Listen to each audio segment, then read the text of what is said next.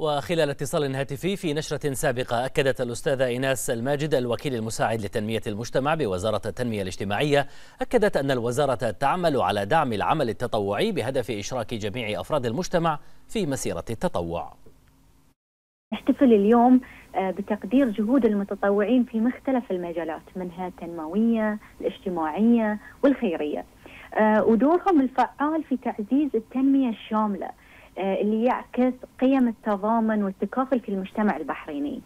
طبعا يشهد العمل التطوعي اليوم في البحرين تقدم ملحوظ من خلال إنشاء وتطوير نظام متكامل للعمل التطوعي الأهلي. إحنا في وزارة التنمية الاجتماعية ملتزمين بدعم العمل التطوعي من خلال عدة جوانب. منها نوفر لهم بيئة محفزة وإطلاق المبادرات نوعية تهدف إلى إشراك جميع فئات المجتمع في مسيرة التطوع.